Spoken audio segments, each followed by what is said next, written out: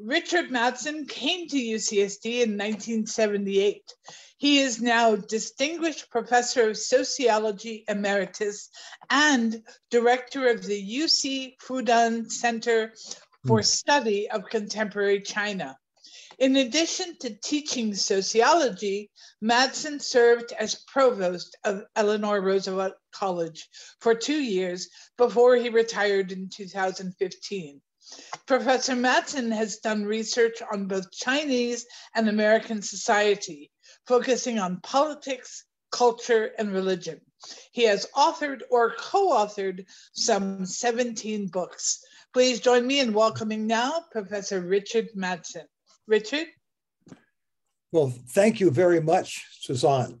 Uh, thank you for having me, and to the Emeriti Association, uh, thank you very much for listening. Uh, let me say a few words to begin with about uh, civil society, and then I'll talk a little bit about China and religion and uh, try to pull it all together toward the end. Um, in the 1990s, uh, in the social sciences at least, uh, the idea of civil society was all the rage. By civil society, you know, what people mean is the whole realm of voluntary associations, uh, organizations, clubs, associations of all kinds, everything ranging from chambers of commerce to labor unions to uh, from from churches to uh, uh, just, just just clubs of friends who, who, want to enjoy each other's company, uh, to PTAs, to philanthropic associations, and so forth. This whole realm of voluntary groups that stand between uh, the individual and the state. In the West, at least, uh, scholars became very interested in this because it was kind of the rebirth of civil societies in Eastern Europe uh, that basically uh, provided the uh, energy and the momentum uh, to undo communist rule in those countries and to begin uh, their own kind of movements toward democracy. Uh, under communism, under in its heyday, uh, most parts of civil society were banned by the state. As these societies had gotten a little more complicated, uh, there began to be developed more free space for various kinds of organizations, associations, and so forth that we call civil society. And then in the end, uh, these helped undo uh, these communist regimes. Uh, in Poland, for example, there was a Solidarity Labor Union, and then there was association connected with the Catholic Church. In uh, Eastern Germany, there was uh, the German uh, Evangelical Lutheran Church. In uh, places like Czechoslovakia and other parts of Eastern Europe, there are a whole variety of organizations, uh, even popular music associations, for example that became kind of nuclei of resistance to the governments and in the end uh, helped bring down uh, these communist regimes and then began this movement toward a democratic society. Uh, unfortunately, in many of these pla many places in the world, the promise of these democracies hasn't been fully realized, but that's a whole nother story. In any case, in China, uh, the Chinese Communist Party certainly didn't want to uh, have anything that would challenge its uh, it, its power. Uh, but even the party came to realize in the 1990s, as reforms began to take place in Chinese society, more market reforms and so forth, and the society becoming more complicated, uh, including many more people coming and flocking to big cities and new industries being developed and whole people being on the move, society being more complicated. They realized that to, to manage society, you needed more kind of grassroots creativity and initiative and so forth.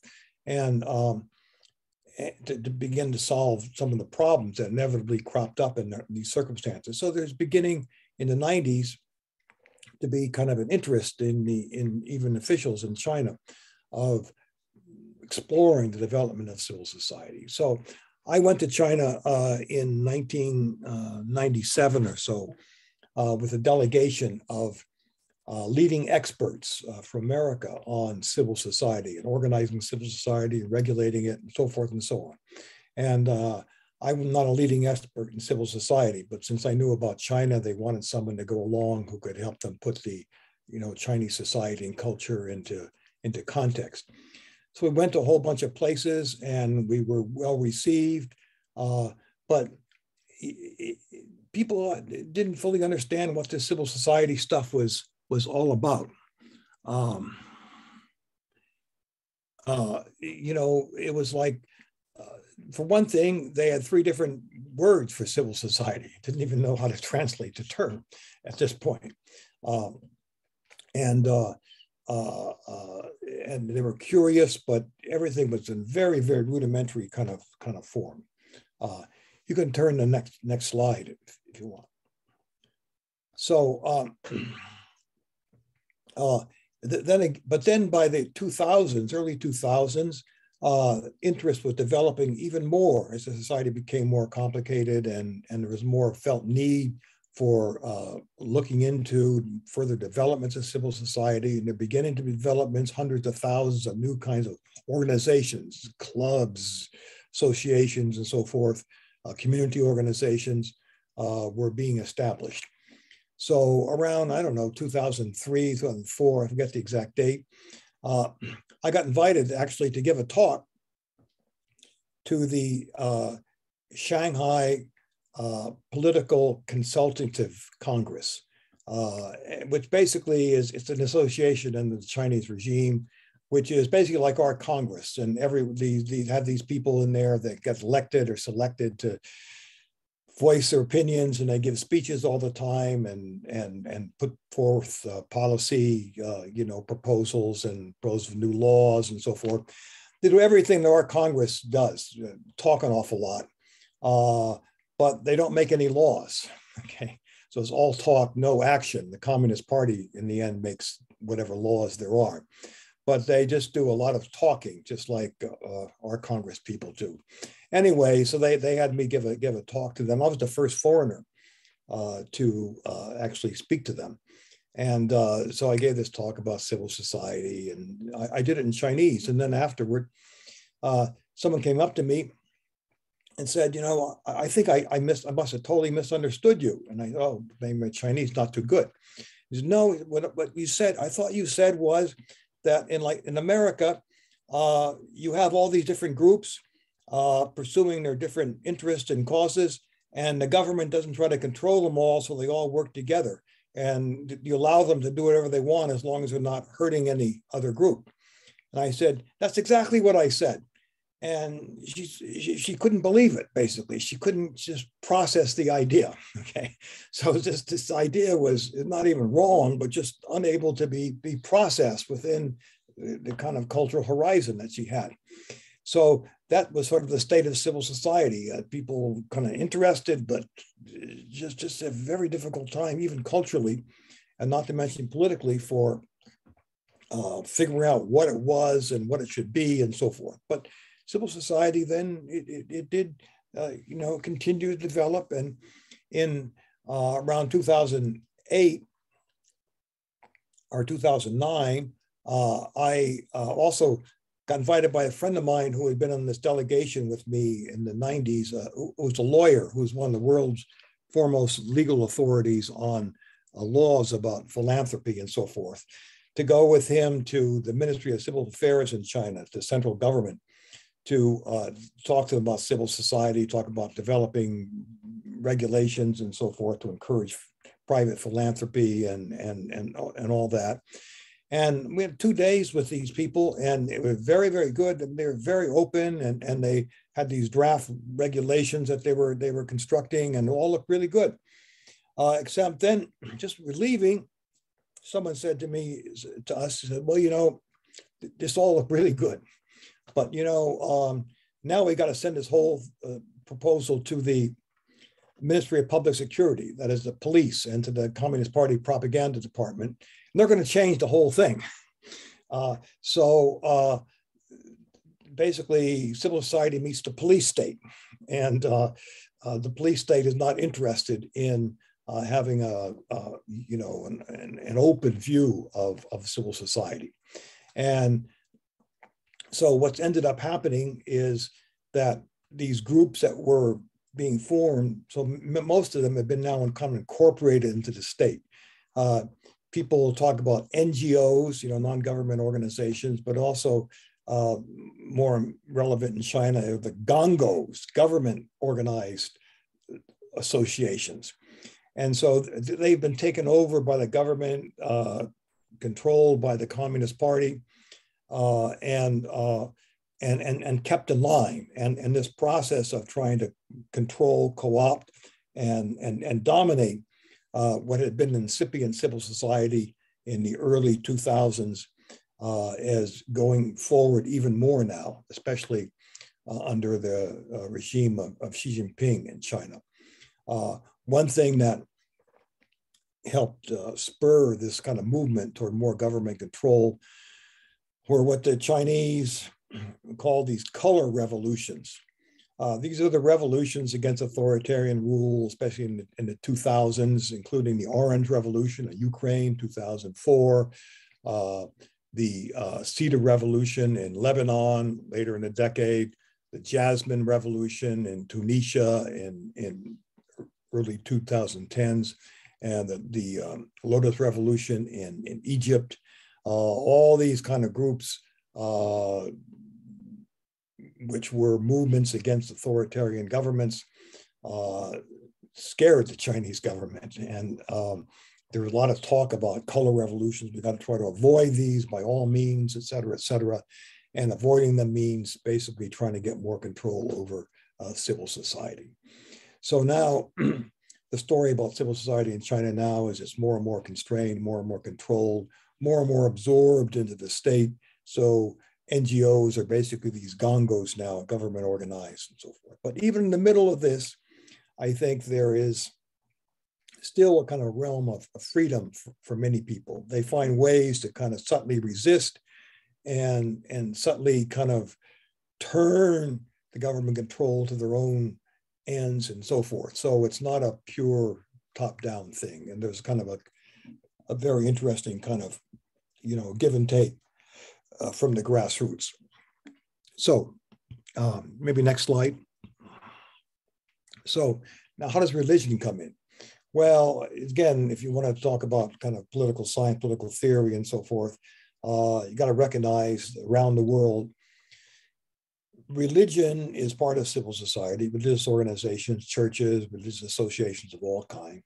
Uh, but in some ways, they can be very, very problematic to uh, creating a civil society that's harmonious and uh, especially when moving toward democratic uh, rule.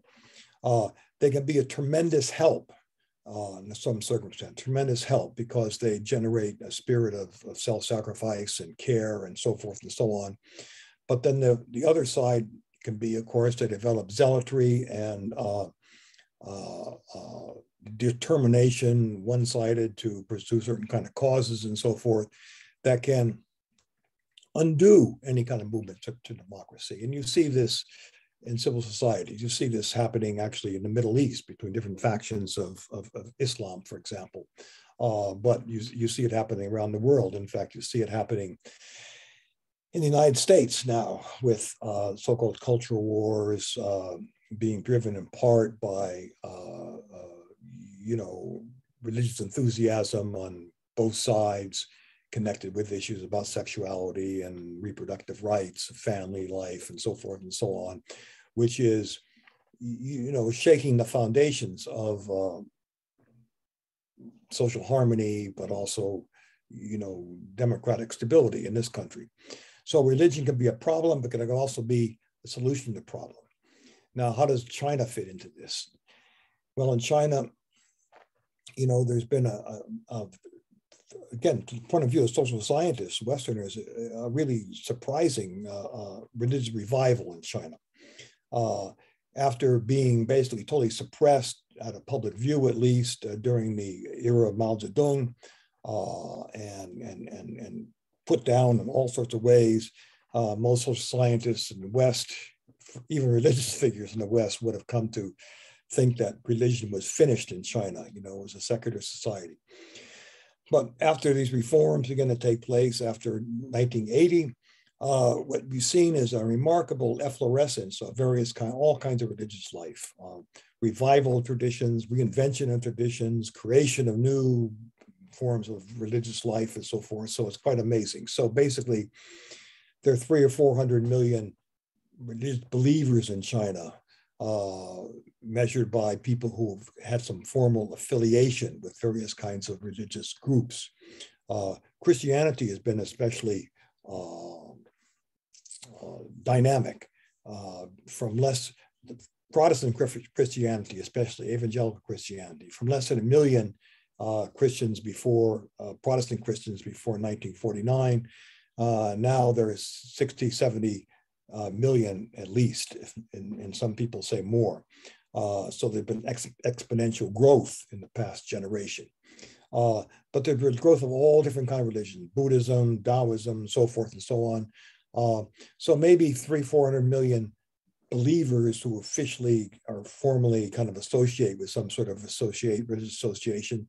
But then also, uh, one survey showed that if you count everyone who believes you know, in the power of certain kinds of prayer and in, in, in, in, that there existence of ghosts and spirits and uh, that goes to temples to uh, on, on life cycle occasions and or prays for the, the dead relatives and so forth and so on. If you count all those people uh, having some sort of religious belief, then about 85% of people in China have some form of religious belief. And 85% is approximately the number that you have in the United States to say they believe in God.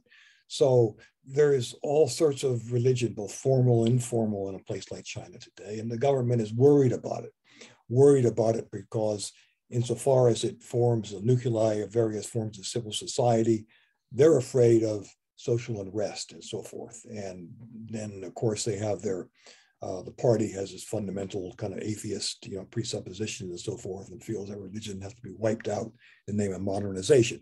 So the government is both hostile to religion, but then also realizes that they can't uh, simply wipe it out and have to some, somehow accommodate and so forth. So uh, the way they do that is to try to control whatever forms of religion take place.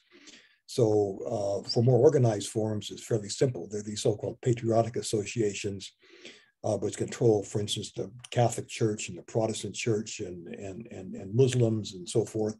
And these are government organizations that are controlled through the so-called United Front Department of the uh, Communist Party and uh, keep religious life under tight uh, surveillance and, and control and uh, make sure that the leaders of these organizations are people loyal to the uh, Chinese government, et cetera, and also do what they can to sort of restrict the kind of um, uh, activities of, of religious figures and, and, and to control them. Uh, so one thing, for instance, they don't want Christians to do is to proselytize, to go out and try to make converts and so forth. And this is true for all the religions. So they try to contain it and control it, surveil it, uh, and, and supervise it and so forth. So that's what they're trying to do with China. So it's basically taking a part of civil society and putting them that tight control, making them gongos, uh, if you want, if you will, and uh, and and keeping them under control. Try to keep them from getting out of control from their point of view, and um, uh, uh, uh try to direct them toward the service of the state the process of trying to do this is has heated up in the past five years. Uh, they have this new program announced by Xi Jinping of Sinicization, making all religions truly Chinese, a Chinification of religion. Even making Taoism, which is the Chinese you can get, Chinese, which basically means serving the cause of socialism and the Communist Party and so forth. So um, but even within this, what's interesting, you know, for me, and maybe for you, is the way in which people who have these kind of beliefs find ways to kind of work within the government control and to resist it and to turn it to their own purposes and so forth. So, um, uh, for now, I'll, I'll, quickly just move ahead to some uh, some slides that I have to show you some examples of this, and then we can have some discussion afterwards. So uh, next slide. So there are different ways that this is done. So one way is to repurpose uh, state-sponsored religion. Okay, next slide. So here's an example. Okay, so this is a, a village in uh, in northern China. this particular village was um, a, a, a, site of very, very intense fighting during the Chinese Civil War when the communists were fighting, well, earlier fighting the Japanese, but then later fighting the forces of the Nationalist Party. And um, so this was kind of what they called a revolutionary base area. And this, that, that tablet there is um, a monument to the revolutionary martyrs, the communist martyrs, and names of people who died in the uprisings against the Japanese and then, and then fighting against the nationalists. Okay, next slide. Uh, and that building there is a kind of a, it's a museum to the revolutionary martyrs. It's very, you know, communist museum. Uh, but then there's those, those, those black tablets the black tablets, what I'm interested in. Black tablets are, which has been put up, put up by, by the government uh, uh, office of, uh, of, of civil affairs. And what they are is they commemorate the ancestor, an ancestor of people who supposedly live in this village. In that village, almost everyone is surnamed Lin. And uh, they claim that they their descendants of this man who lived about, about 2,300 years ago, Lin Xiangru, uh, who was a famous kind of cultural hero in, in, in, in, Chinese culture. So they're all descendants of them, they think. And this is and, and these black tablets are uh, represented the fact that uh, they, they have this ancestry. Okay, next slide. So, dealt with the government which is now promoting uh, uh, certain, first of all, kinds of tourism, uh, but also kind of respect for the glorious Chinese tradition. Uh, they put up this museum cum temple, and this is in honor of Lin Xiangru.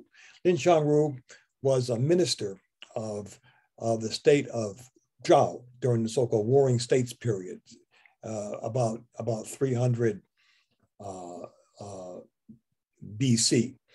And, uh, and he was he, eh, eh, eh, children in, in, in, textbooks, they, they read about Lin Xiangru, okay, because he was a, um, a loyal Confucian.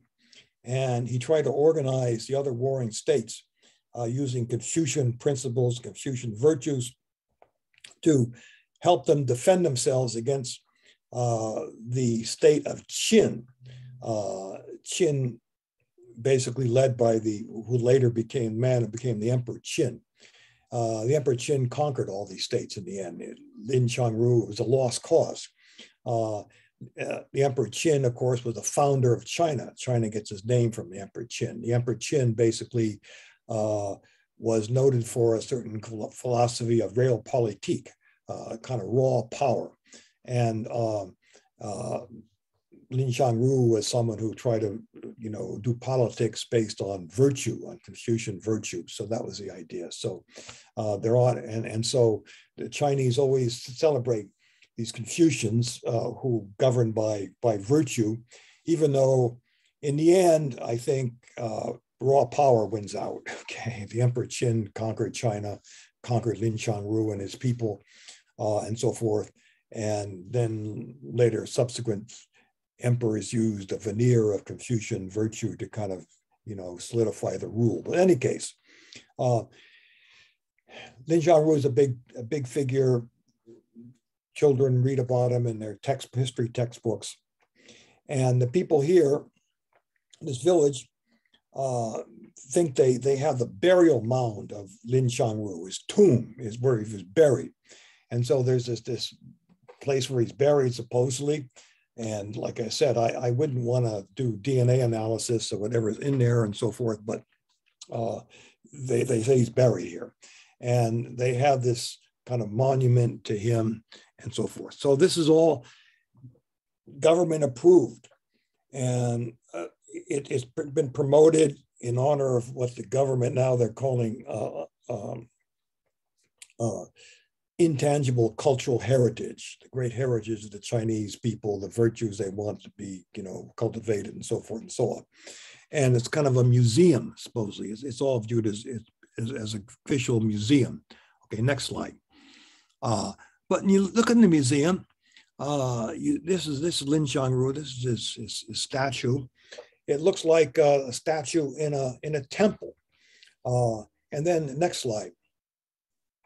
Uh, then look in the corner of this temple is this device. And this device you see in traditional temples in places like Taiwan and elsewhere, where they do spirit writing. So basically, what, what you do is you have someone goes into kind of a seance, and then his hand sort of shakes, and there's a bed of sand here, and then uh, that needle writes characters in the sand, and that's the spirit of Lin Xiangru from 2,300 years ago communicating to us. Okay, so it's done through this spirit writing, as like like in the séance in a trance. And so uh, this is supposed to be a, a, a museum uh, honoring cultural heritage. It's supposed to be totally secular, organized ultimately by the Communist Party, by the by the Chinese government. Uh, and yet, off to the side, uh, people are worshiping Lin Xiangru like he's a deity, and uh, they're using this method to, to, to communicate with them. So there's this kind of, um, the government calls it a museum, the people are calling it a temple and, and a religious site.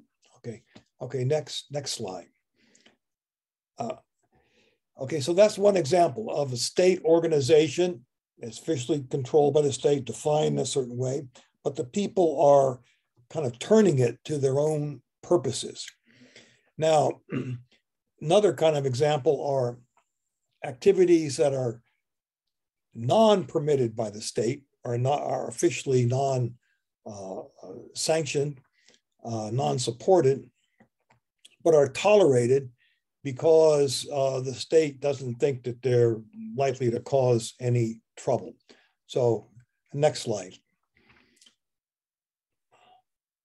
This is a temple in uh, the same area where, where this Lin Xiangru village was. And uh, but this is a big temple. It has, as as has like 24 uh, pavilions connected with it. It goes all up the side of this hill. Uh, and uh, it's partly tolerated because the people who constructed this temple uh, have been planting these evergreen trees all around. This area was barren ecologically in, in bad shape. And so they've helped kind of reforest the area. The government likes that. In the meantime, the temple. What this temple is, is, is all done on behalf of and honor of this woman. Next slide. Uh, this woman uh, has reputation of being a healer. Uh, she came to this village in the 1950s and she gained a reputation being able to heal people. She lays hands on them, she does whatever she does, and um, uh, they get healed of all sorts of sickness. Uh, blind people get their sight re- re- restored, uh, people with illnesses of various kinds get cured, etc. She has this kind of healing power, uh, people think. And you're not going to read about this woman in the you know, official media, People's Daily or anything. Uh, but her, her reputation is spread by word of mouth all around China. People come from very, very far away. In fact, uh, there's there some people were coming even from Australia, they heard about her. And you have some sickness that they can't cure, etc. They come see her. She lays hands on them. They get better. Uh, they think, and I don't know, you know, this is psychosomatic or whatever it is, but uh, that reputation as it works. And uh, she, um, and in in uh, in honor of her, in in in recompense for her helping them, they've donated all this money to um, create this temple with all these deities and so forth. So this is totally non-approved by the government exactly. It's tolerated. She helps uh, build, you know, plant uh, uh, trees and so forth in this ecologically damaged area. And uh, uh, has an enthusiastic following, even though it wouldn't be published in official media in any way. Uh, and people swear by her and think that she can heal them. And so the government is basically tolerating this. So this is a kind of civil society, a network of people who come together to get uh, healed and to, and to, and to and to celebrate this this woman who heals them, and the government doesn't really bother them because it doesn't seem to be causing any any trouble at least for now. Okay, next slide. Uh, another example. Uh, what this is is an ancestor hall. Okay, so traditional Chinese religion, uh, a core part of it was ancestor worship. You worship your deceased ancestors. You believe their spirits are still alive and still there and there to help you and so forth. And uh, in this other region in China, rich people, successful people, uh, to, partly to demonstrate their success, are building these very, very fancy halls in honor of their ancestors. Okay. And this is done by one of the richest men in this area, became very famous. He was a Communist Party official, actually, who then helped uh, open up the, the area to uh, private enterprise. And the area truly prospered, and he made a lot, lot of money in the process. So he's built this place for his ancestors. Now, it doesn't say ancestor temple on it, it says activity center. So this is community center. And inside there are badminton courts, courts and there are um, meeting rooms and all this kind of thing in this, this very, very fancy building. Uh, nothing to do with worship of ancestors. It's just a community center uh, a nice community. But next slide. But if you go in the bottom of it, and it's like a crypt. These are uh, tablets to uh, the ancestors of this, this, this clan. And uh, there, there's, you see these pots of incense burning there, and these tablets are supposed to kind of uh, contain uh, the spirits of the ancestors. And these are the ancestors going back hundreds of years of this family. And uh, and uh, they're worshiping them. They're burning incense to them, and so forth and so on. And uh, they believe the spirits are there, etc. And this whole building is a temple for them, even though it's supposed to be an official uh, community center uh, and so forth. So once again, you have a certain kind of religious activity that's taking place. It's kind of uh, presents itself as uh, you know a, a, kind of a secular community activity, uh, but then and it's not sanctioned by the state, but it's just both tolerated uh, and it's brought in business. It's just, it's an amenity for the for the for the village and the community, uh, and yet it's it's actually a form of religious life. Okay, next slide. So uh, that what I just was describing is what you could call them forms of traditional kind of folk religion in China, which now have made a comeback. So um, uh, let me say a few things about uh, Christianity, of course, which was imported through missionaries uh, from the 16th, 17th century on, especially 19th century by the imperialists. And, and now, especially Protestant Christianity has grown very rapidly, and the government is very concerned about this growth, trying to keep it under control. So, next slide. This is a church, it's a Protestant church uh, run by the uh, so-called uh, Three Self movement, Three Autonomies movement, which is the Chinese Patriotic Association, again run by the, uh, controlled by the United Front Department of the Communist Party, which keeps the Protestant Church under control. So this is official. This church is officially affiliated with them. It's all uh, Orthodox and and so forth, and uh, supervised carefully by the government, but allowed to have its its various kinds of worship forms. Next slide. This inside the church, you see you see what it's like inside, uh, and uh, they have you know uh, extensive worship services and so forth on Sundays, and and it's, it's part of the official church. Aside from this, and much more dynamic actually, are these unofficial churches, house churches, uh, which often don't meet in big buildings like this, but in smaller kinds of buildings and and and uh, worship in a way that hasn't been officially regulated and approved by the government. The government's trying to control them and so forth. And you may see in the press, uh, you know, cases of pastors and congregants in some of these places being arrested and so forth. Uh, and uh, there's been increasing crackdowns on them in, in recent years.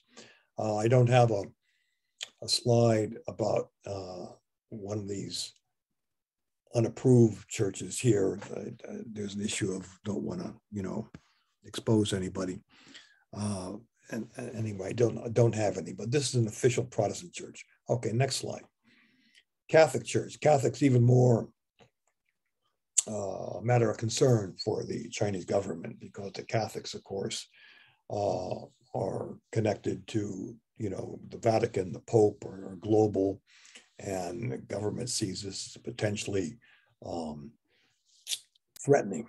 And also, they noticed what happened in Poland when the you know Catholic Church helped the solidarity movement and brought down Polish uh, communist regime. So Catholics are, are even more problematic than the, than, than the Protestants, although the Catholics haven't grown as much and there's only maybe 10 million or so Catholics. But um, uh, next slide. I'll show you a couple of Catholic things. This is a Catholic seminary in Shijiazhuang in, in northern China. And uh, so this is would be controlled also by the Catholic Patriotic Association. Uh, make sure the curriculum is uh, properly uh, respectful of the aims of the Chinese state and so forth and so on and, and that the priests are properly vetted. But even there, you have some problems. Of, some years ago, uh, the government installed a new rector, a new, a new, new president of this seminary, and uh, the students revolted, went on a strike, and so forth. And the government finally put it down. So even when they tried to get this under control, the control is nonetheless never 100%, you know, stable. Uh, next slide. Next slide. Okay. Uh, this is a Catholic, uh, like, a, like a storefront uh, chapel too for, for worship on, on, on, on Sundays. Uh, next slide. But here's um, examples of a little more kind of resistance. Uh, this is a Catholic example. Okay, next slide. Okay, so the, that woman there uh, is a Catholic nun. And the other woman actually is a, a farming woman, a peasant woman, who unfortunately has HIV/AIDS. Next slide. Uh, so the situation in that place is um, uh, the woman who is ill with HIV/AIDS uh, comes from a village in this area where um, all the women, when they went to give birth, they went to the local hospital. And according to custom, uh, in the whole process, they all got blood transfusions. And the blood in this hospital was uh, contaminated with uh, HIV, okay, as part of a massive screw up in the area. So all the women in the village, practically all got HIV AIDS, and so their children and uh, so in many cases their husbands. So the thing is a total mess. Uh, and uh, the nuns were trying to help them and uh, trying to um, provide some aid for them, uh, try to get some HIV, some AIDS medicine to them, uh, but also trying to help them economically. the people in the village, women are, are physically not very strong because of this, you know, the illness. And uh, the nuns helped them raise some goats, which are easier to raise than other kind of animals, and uh, other things to try to help them, and also give them some kind of psychological and spiritual counseling and so forth. Uh, but the local government kicked them out. Uh, the nuns didn't, didn't want them doing that. Uh, them doing that because uh, basically this mess up with the hospital so bad, it's such a loss of face, of, of prestige, that they don't want to admit it. They don't want anyone to know about it. And this is this kind of thing has been happening throughout northern China. In fact, there's been big, big problems, and maybe you've seen about newspapers. So um, the government drove them out. Doesn't, doesn't want anybody helping these, these people. Doesn't want any, you know, the, the, wants the situation totally covered up and so forth. So that's what the local officials are wanting. So the, that nun there in that picture was uh, setting up a kind of a center away from the village, and the women have to take a bus to get there to give them, in the name of Christian charity and so forth, some some some help. So they're not supposed to be doing that. They're not supposed to be doing that. This is, uh, you know, not approved. Uh, but they feel they need to do this because it's the right thing to do, et cetera, et cetera. And uh, they're managing to, to, to get away with it, okay? So this is something that, and, and those nuns would be officially affiliated, uh, you know, their religious order would be approved of by the Catholic Patriotic Association. They're not defying that per se, but they're doing activities within it which wouldn't be officially approved by the uh, government minders of the, uh, you know, association. So next slide. Now this is about, this is another level of doing things disapproved. These are underground Catholics, okay? So um, this is a village in which almost everyone in the village is Catholic. And they uh, accepted priests and carried out activities which are not part of the so-called Catholic Patriotic Association. Okay, and and so what they're doing is not legal. In the um, space next to this, this is a farmhouse. Face next to it, that field. They told me that they they had built a church. They built it with their own hands, with their own money. Uh, wasn't sponsored by the government. And then the government came in and tore it down. Uh, the people there were extremely upset about this, as you can imagine. Okay, so next slide. Uh, here, here's a picture. It says, "Long live the Pope." Okay, not supposed to say that, but there it is. That's a symbol of their particular kind of faith. Next slide.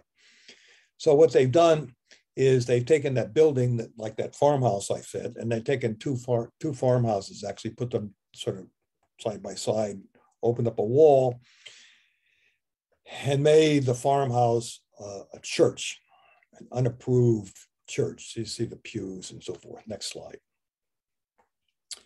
And uh, there's the altar. Uh, next slide. And there's another farmhouse next to it, which they made into kind of a, you know, you know, a parish hall.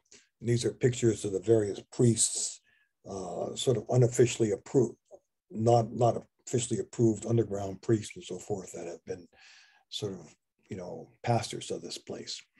Uh, and so there was in the Chinese Catholic Church this big split between those who accepted a certain amount of government control and the so-called underground. Uh, now this has gotten more complicated because the Vatican has made some sort of provisional agreement with the Chinese government about promoting, about uh, appointing bishops and so forth. That's blurred some of the boundaries between the underground and above ground, forcing the underground to get more affiliated with the official patriotic association. But it hasn't happened fully, and it's, it's, it's contentious, and it's a big issue in China these days. So, anyway, so there, there was a church you see people made their own church. They, they had a building of their own, uh, which got torn down. Uh, they've taken some farmhouses and made their own chapel out of it and carried out their own worship. They brought in priests and so forth. Uh, and uh, sometimes these priests get uh, put into, uh, into jail because of doing this, etc. He told me there's one case in this area, this village, where this priest uh, got got sent off to jail. He was off there for for I forget how long a while. Then he came back. He got let out, and when he came back to this village, he said there are a thousand people in this village. They all lined up, uh, and he, when he came back and knelt down before him, okay, uh, because they, you know, saw him as a hero for for his particular kind of resistance. So this kind of thing is going. This is a kind of civil society, non-controlled, non-official by the government. Government trying to get this thing more under control, uh, but the resources aren't fully there to fully contain this, and this kind of thing is going on. Okay, next slide. So, uh, very, very quickly, uh, that's the issue of Chinese civil society and religion. And now there's this control and some kind of resistance. Um, but uh, let, let, me just end with uh, comparison with Taiwan. Uh, Taiwan is a society in which there's been a very vital civil society, in which, of course, there's a transition to democracy starting in the late 1980s. And uh, now it's uh, has a very liberal form of, of, of government, uh, very, very active civil society. Uh, and the, um, problem they had actually was that as they made the transition to democracy, the civil society was so wild, so, so you know, so active that they threatened to kind of break the whole thing down. All every kind of group you can think of, pushing this kind of cause, that kind of cause, that kind of interest, etc. Uh, uh, but one interesting factor in Taiwan was role religion in this. I, I, wrote a book about this, and, and basically, you have the rise of these religious groups, especially Buddhist groups, that kind of preach compassion and care and so forth, and have helped to sort of calm society down enough, uh, provide enough kind of civility uh, and caring. Uh, that some of the centrifugal forces of the civil society have been kind of mitigated pulled together by more centripetal forces. And uh, Taiwan, even though it's, it's transitioned to democracy and everything has been rough, it's been a very successful transition. And it's sort of held together. And one factor, not the only one, of course, is some of the religious groups. So next slide. Uh, one group I studied is a group called Chi, and, and, and they're centered in this little temple in a remote part of Taiwan, although it's not so remote anymore, but used to be very remote, uh, Hualien. And uh, there's a, it's a kind of a convent of nuns uh, with about a hundred uh, plus nuns in this convent. But uh, next slide.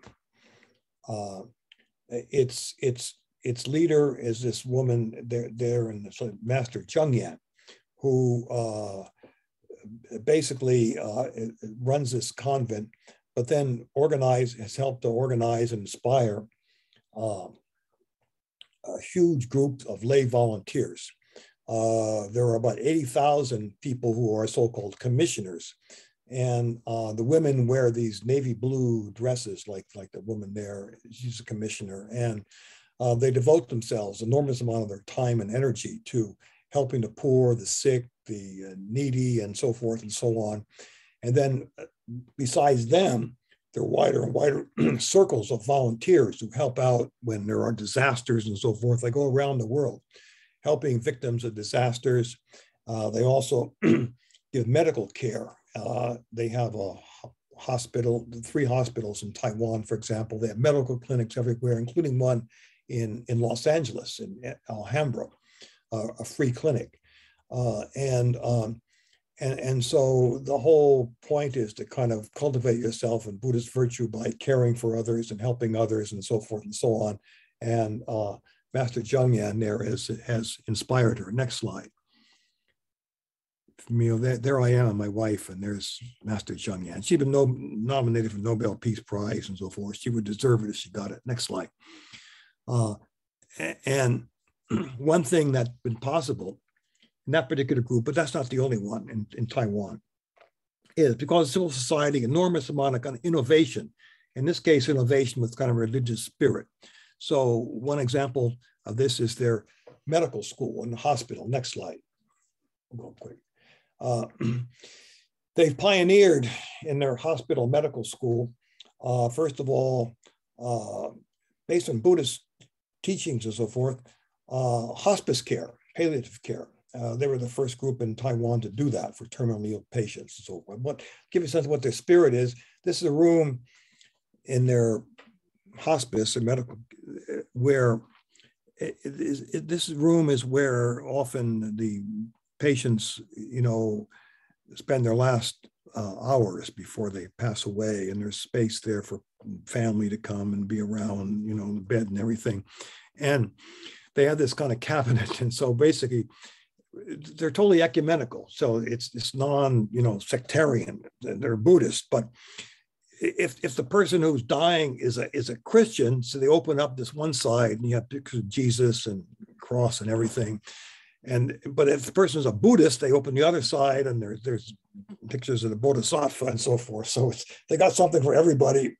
They don't care about people's faith. They care about them having kind of a you know a, a spiritual uh, encounter with the, the situation that they're in. Death. Ne- next one. Uh, okay, another another quick slide is in the medical school. Another thing they pioneered, which is very big in Taiwan, is their uh, anatomy class, and, uh, and, and basically there was a problem in Taiwan of people not wanting to donate their bodies to science, and so uh, had developed this way of, based on the Buddhist principles, which people donate their, their bodies when they die, the cadavers, and are they're brought in and and uh, treated in, in this tremendous kind of respect with all these ceremonies. And uh, this is actually not the not the anatomy classroom, but this is a classroom where, where the where the medical students practice various kinds of surgery on on on, on cadavers, uh, get ready for doing it on a real person. And uh, they have the uh, on the wall little biography of the uh, cadaver, their person they're working on, what their personal life was like, and so forth and so on. Ne next slide. Uh, and then at the end of the process, when the medical students are, are finished with the with, with the uh, you know cadaver, it's uh, cremated. The medical students act as pallbearers and so forth, and um, half the ashes are given back to uh, given to the family. The other half are kept in this kind of chapel, which is next to the classroom where they do the anatomy class and so forth. And next slide. And uh, the uh, ashes are kept in these little kind of urns and so forth. And before, uh, you know, working on the cadavers, uh, the doctors and the medical students can go and they can meditate and they can pray and so forth uh, for the gratitude for the people who donated their you, you know their bodies for this process and so forth. So it's a way of it was their one one way of kind of humanizing the practice of training of doctors and practice of medicine and so forth based on their kind of Buddhist principles, uh, which also then solved a very practical problem in Taiwan about people not being willing to donate their bodies to science. Now, now lots of people do, and they have more cadavers than uh, they need, which they give to other hospitals. Um, if they're promised to treat the bodies in this in this way. Uh, next one, which is it. Oh, that's me. Okay, I, that, that's we can just end with that. I'm giving a talk to the nuns and Tzu Chi there. You see, they're all sitting on the floor and so forth, and I was uh, telling about civil society and religion. So uh, with that, uh, I've taken more of your time than I should. Please, you know, maybe you can ask any questions if you like. Professor Madsen, that was fabulous. Really, really interesting. Um, I don't think you spoke about uh, the Uyghur Muslims. Um, what's their situation? I, I believe. Well, it's China, terrible. The situation yeah, is terrible. not very happy with I, them, right? I give, I give, a lecture on that to the Osher about that. Okay, it's awful. Okay, so uh, basically, uh, practicing a kind of cultural genocide, trying to wipe out, you know, tra- traces of their religion, right? And the Uyghurs, you know, the Uyghurs are um, ethically different from the, the Han Chinese, right? The Uyghurs basically are, are a, a Turkish, Turkic people, people, you know, ancestors came um, starting a thousand years, over a thousand years ago from, from Turkey, from Turkestan. And so the language they speak is sort of like Turkish. Uh, the food they eat is sort of like Turkish uh, and so forth. They look Turkish. They don't, they don't look, you know, Chinese in the way that Han Chinese look. So, um, and most of them are Muslims. Okay, they're, they're about, oh, about 11, 12 million, I suppose. Most of them are Muslims, Sunni Muslims mostly. And there's some other groups in that area. It's the western part of China. It's like the West here in the USA. It's mostly desert. Uh, and, uh, you know, uh, there have been some rebellions against Chinese rule there. And the government has cracked down very hard on them. And so they can claim they're, you know, worried about terrorism and so forth. Uh, there's been some problems, but I think, you, you know, now they've gone after their religion, which they have an ethic problem for sure, uh, for various reasons. For one thing is the Han Chinese come in to this area and they could take in the best jobs and there's, there's oil there and, and the, the, the, locals, the Uyghurs don't get good jobs in the oil fields. Uh, you know, they've been exploited and all this kind of stuff they feel. So uh, there's an ethic problem. But then the Chinese felt that to get rid of the ethnic problem, they got to get rid of the religion. And so they can throw you in these sort of concentration camps, internment camps, if they catch you with uh, having a copy of the Quran in your house or uh, wanting to fast during Ramadan or something like that. And, uh, and, and, and then in, in, in there try to wipe out, you know, brainwash, if you want to use the term, your um, religious affiliations. So they're doing that and it's a major, you know, global, terrible human rights abuse. It's awful. So that's that's one way of dealing with religion, and especially religion they feel is connected to, um, you know, an ethic problem, uh, etc. Okay. Uh, besides the 11 million or so Muslims, Uyghurs in Xinjiang, another 11 million or so Muslims in China, the so-called Hui Chinese, which uh, for one thing, look Chinese. They basically, you know, you couldn't distinguish them by just looking at them. They, they don't eat pork and they, um, you, you, know, uh, go to mosques and so forth. Uh, but uh, they're very culturally assimilated, they speak Chinese and so forth. Uh, and they are kind of um, under suspicion, I suppose, but not as persecuted as much as the as the, as the Muslims in, in, in Xinjiang. It's a bad thing. It, it's it's a major violation of both religious freedom, but also ethnic suppression and so forth. Sounds like we should have you back for a talk just on the Uyghurs. Um, Stephen Adler, your question, followed by Christine. Thank you, Suzanne. Hey, Dick. Thank you very much for that. Thank you. That was that was terrific. Um, is there um, to what degree is there any, I don't know what the term would be, sort of, you know, inter-sectarian cooperation amongst different religions uh, in the face of governmental oppression or suppression? Uh, not much. You know, the Protestant Catholics don't work together, at least not very much. Uh, overall, the government likes to keep it that way, right? And then within these different groups, there are uh, hostilities, right? So among the Catholics, the people, the underground ones, and the others, there's there's some. It, it depends on different areas, but there can be some very nasty uh, conflicts between them. Uh, in some areas, it's fine, but other areas not. In the Protestants, there are also conflicts between some of these house churches, etc.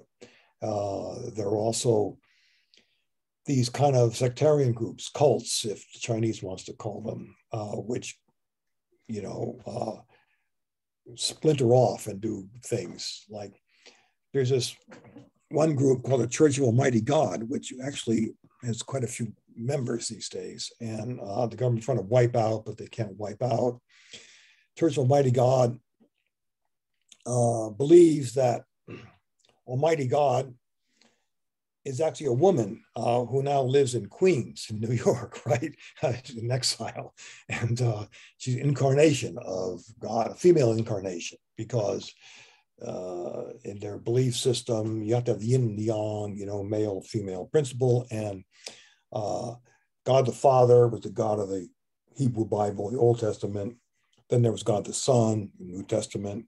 Now it's time for a woman, who is this woman in now living in New York, but she um, produces all these writings. And then there's a guy, another guy with her named Zhao, who's like the St. Paul of this group that uh, organizes local churches and, and, and disseminates their teachings and so forth. And uh, uh, people who follow this group in China can get arrested, et cetera, et cetera. And it's all very complicated. Anyway, so that, that sectarian splits within, you know, within, within Christianity. And then there are these groups, the, the so-called Falun Gong, of course, and these groups that were based on Buddhism and Taoism and so forth, which are also seen now as uh, heterodox religions as official. I think the real translation, the Chinese wants them to call evil cults, but in any case, there are a, a bunch of groups like that now uh, still in China, which now have gone global. And uh, you know have websites and propagate the message globally. So there's it's it's it's a you know a very dynamic uh, situation which is not from the point of view of the government fully under control. Thank you peter followed by ken. It was my turn actually. Oh i'm sorry i didn't see your hand up. Go ahead christine. I put it down because it was too insistent and my question is actually in line with Stevens. But I was wondering if, given the multiplicity of religion, big religions that coexist, is there any kind of theological serious debate, let's say at the university level or at a different religious level, that really talks about the fundamentals of religion rather than of the practicalities of religion?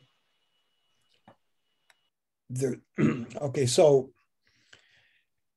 at the university, at the university level or at the seminary level, there's some of that. In and and there are you know departments of religious studies now in uh, different universities, right? Uh, it's sort of like this. Um, within the Protestant community, right? There, there is this uh, sort of Reconstructionist theology, which basically says that uh, you know God is everywhere, and even if you're an atheist, you're still be saved, believe in God, so forth and so on. Then there are these more fundamentalist groups that say, no, you know, you know, you have to have faith in Jesus directly, and so forth and so on. And besides, uh, these communists are bad, etc. Right? So you have these kind of splits within within the Protestant churches, right? Uh, you have um, different groups of Buddhists, again, uh, pushing either more kind of charismatic or more kind of, you know, conventional kind of, kind of approaches. You have that. The problem in, in China is that it's, um, it, it, it's suppressed. So, so it's very difficult to, to have, you know, sophisticated kind of theological discussions, okay, at least normative, right? Uh, in a place like Taiwan, it's different. The government under Chiang Kai-shek basically suppressed all sorts of religious groups. Buddhists couldn't have universities, et cetera. They let Christians have one uh, because the Cold War and so forth, but others didn't. But now there's a bunch of them, Buddhist universities, Taoist universities even, and, and, uh, and a whole intellectual life, which then kind of leads to fairly sophisticated, you know, uh, understandings of the different kinds of faiths. Uh, in China, not so possible, right? Uh, because they don't want, you know, sophisticated theologies uh, that would make things more complicated for them, right? It's not encouraged. Uh, but in any case, so uh, there's that kind of stuff going on. Peter, followed by Ken. Hey, Dick, this is a very interesting uh, talk. I'm really fascinated by it. I wonder if you could talk, um, you know, in the face of opposition, hostility by the government, the quite, it's interesting that people take up these religions, different religions. And I wonder if you might give a, is there a social science interpretation of why the people take up religion in these conditions. I don't mean a theological interpretation. A, a, a, social people are interested in, in religious development around the world. Why are the Protestant religions spreading in Catholic communities in South America, for example, and other places? Is there a, a social science view about why these religions or particular religions are spreading in China? Why are the Catholics spreading here, or the Protestant sects here, or the Buddhists there? Is there a social science interpretation of that? Yeah, I suppose there are different kind of levels of social science interpretation. Okay, look, I think one part is simple. Uh, you know, um,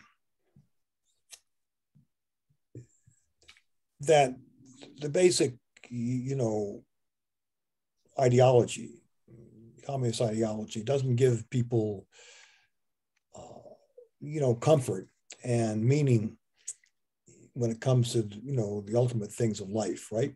So I, I have a friend, for example, who is, uh, you know, an elite communist. You know, his father was a, a very high-ranking general, the whole thing.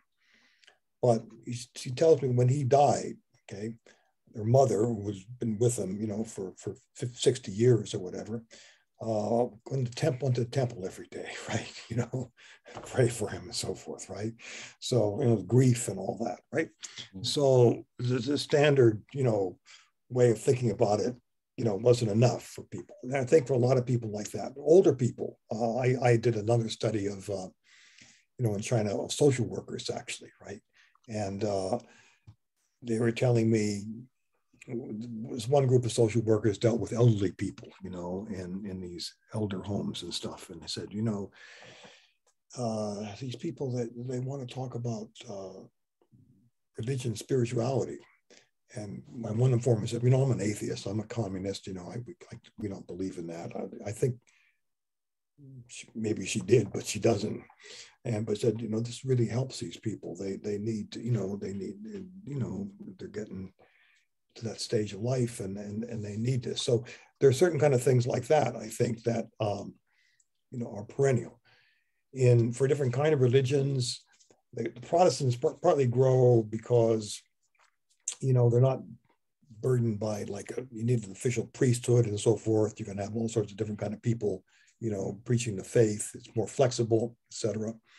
Uh, Protestant communities, some of these grew at least one set of data has to in places, interestingly, where the old folk religion was sort of wiped clean during the Cultural Revolution, where temples were destroyed and so forth.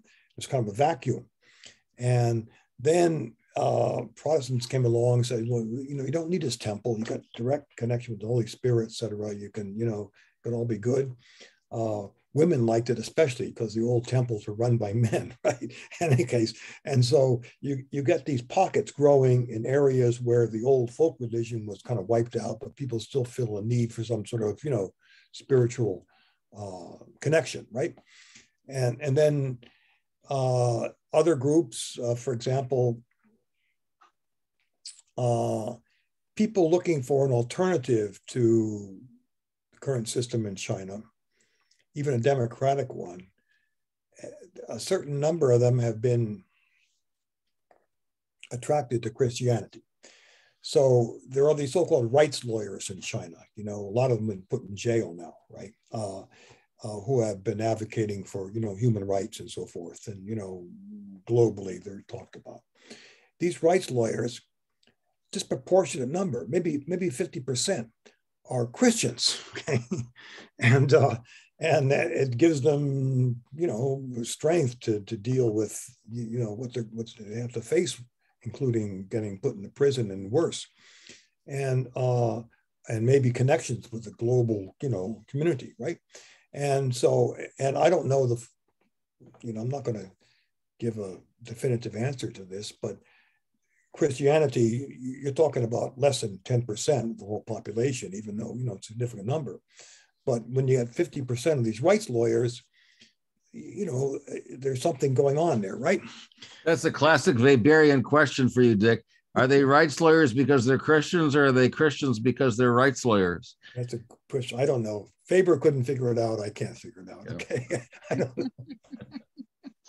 All right. Ken, your question? Ken, do you want to unmute yourself?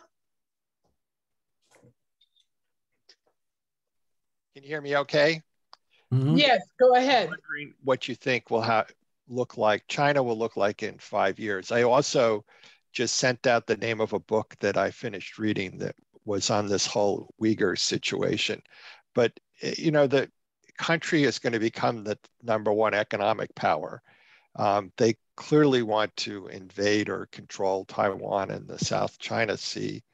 Um, and when you read this book about the Uyghurs, it's obvious that they have developed all of this technology for face recognition and uh, uh, cloning of iPhones, et cetera, et cetera, which they can easily use on any part of their population that poses a threat to the uh, communist rule.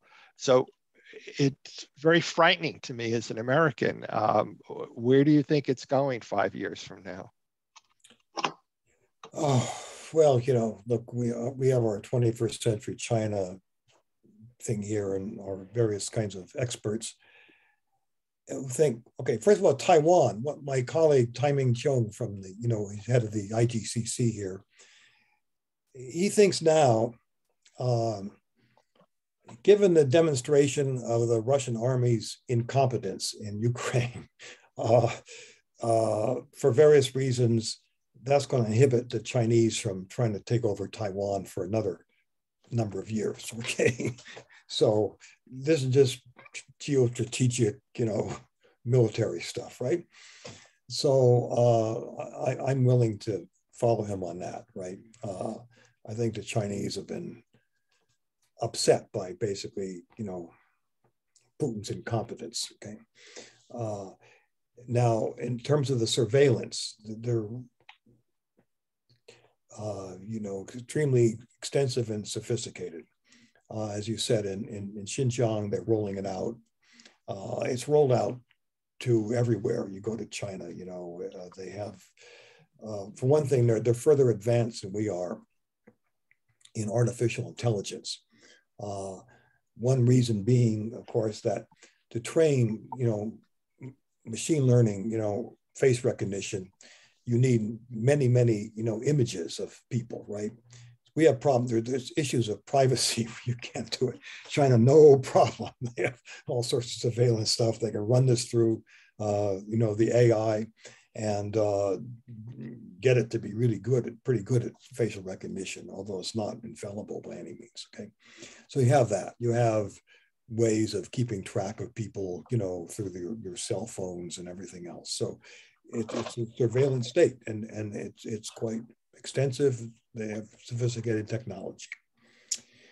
Uh, and it keeps people under control.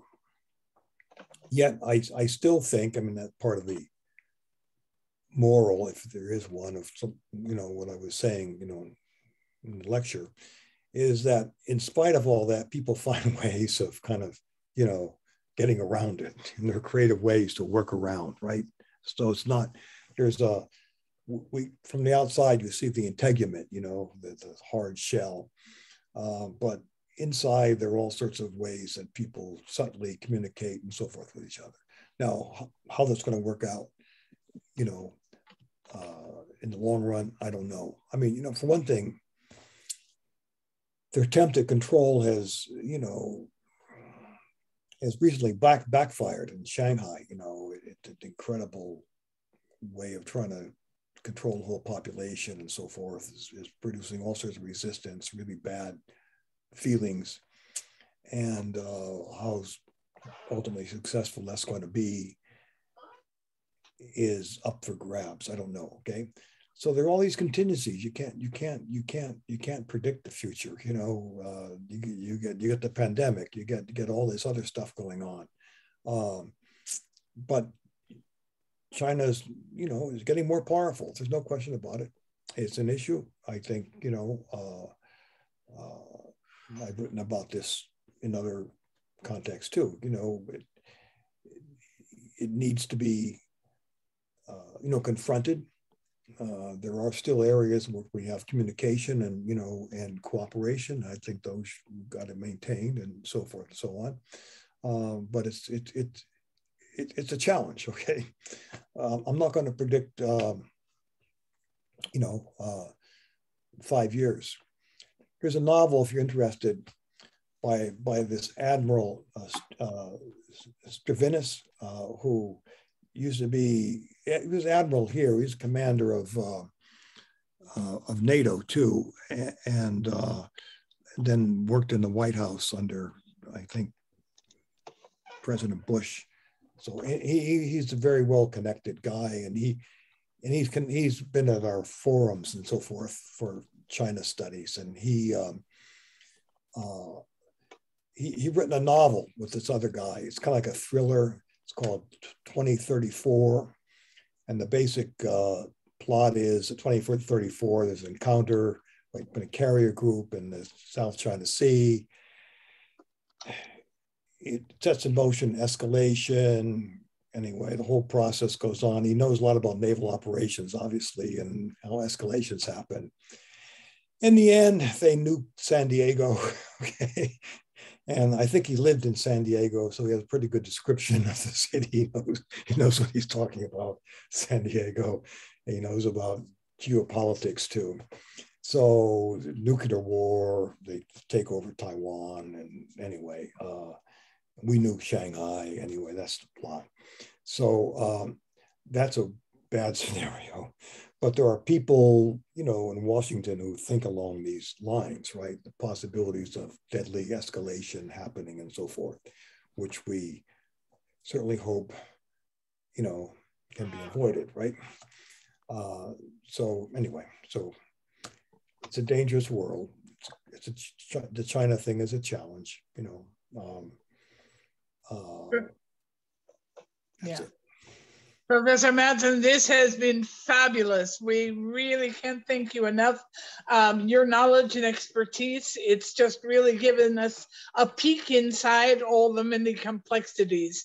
So thank you very, very much. Thanks for the book recommendation too. Um, I'm sure both the RA and EA book clubs will be interested in taking a look at that. Uh, so we very much appreciate your talk today and uh, we'll certainly be inviting you back. Thank you so very much. Thank you. Goodbye, Thank everybody. Bye bye.